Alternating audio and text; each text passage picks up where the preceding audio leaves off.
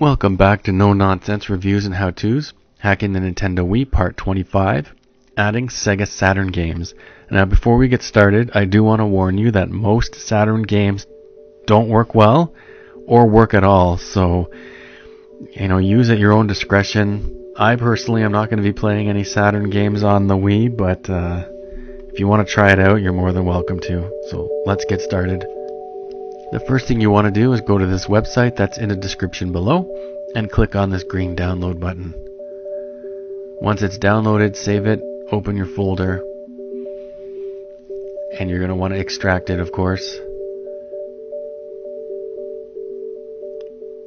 And you're going to have these two folders and your WAD channel. So your apps folder, your your your Yabause, or however you pronounce it folder then you want to put your SD card in your computer that goes uh, into your Wii.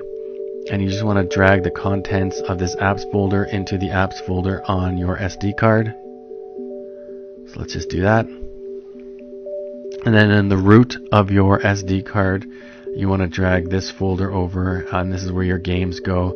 You can delete this uh, this file here that tells you about the BIOS because your BIOS is already there, as you can see. And some games work with the BIOS and some games don't. So when you get into the settings on your Wii, I'll show you uh, what that means. But anyways, just drag this folder over into the root, leave it there, and then you want to add your WADs file in as well. So WADs, channels, and then just drag and drop. Your games goes into the games folder. I already put games in here. These do not come with the download. You have to find games yourself and you want to put them in the bin and cue format as seen here. So let's head over to the Wii. Back at the Wii, go into your homebrew channel, hit start. Go to your multi-mod manager, load. Go into your IOS manager, scroll down to 249 and hit the home button. Once that's loaded up, hit B to go back. Uh, go to your WAD manager, scroll down to WADs, channels, and find the WAD that we just put in here. There it is. Press A, it will load up. And once you're done all that, you can exit out of here and head back to your uh, Wii home menu.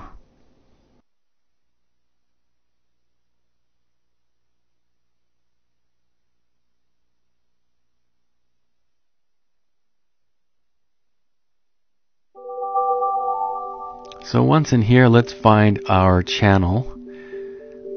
Our Sega Saturn channel. There it is. So let's click on it and load it up.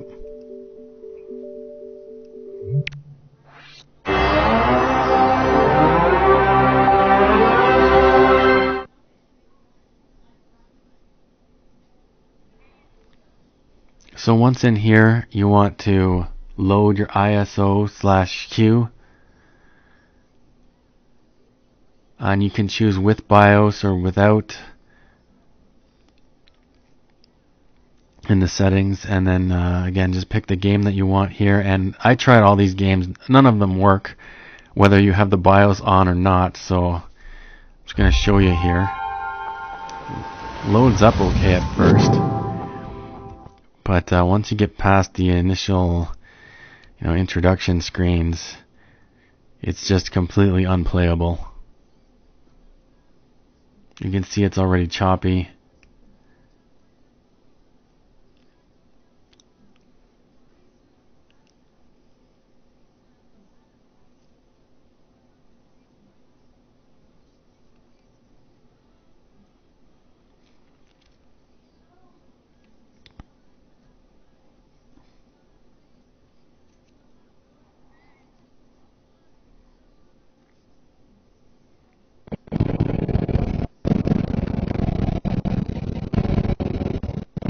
Choppy here.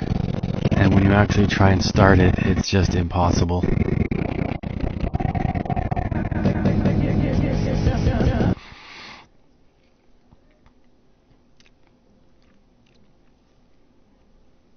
That didn't work, so let's try a different game. Load ISO slash CUE. Let's try uh, Mortal Kombat.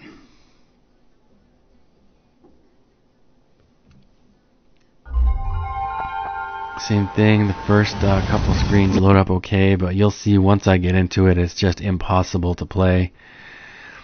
So again, you know, you guys can test this out with various Saturn games and maybe you'll get lucky and a couple will work, but uh, it didn't work for me. I'm not going to put Saturn games on my Wii, but in case you wanted to see how it works, here it is. That's really it. So thanks for watching.